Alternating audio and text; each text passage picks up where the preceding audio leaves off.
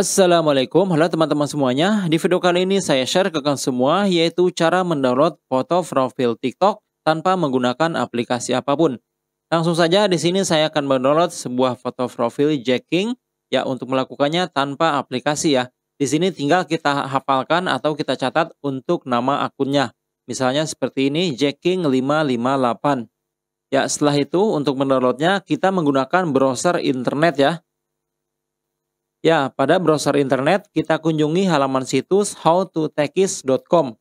Kemudian di halamannya ini kita scroll ke bawah, lalu masukkan untuk username dari akun TikTok yang tadi kita akan download untuk fotonya.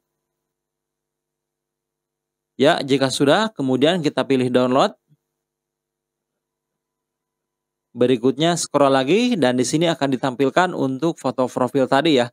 Pilih lagi download. Kemudian untuk gambarnya kita tekan dan tahan. Lalu pilih download gambar.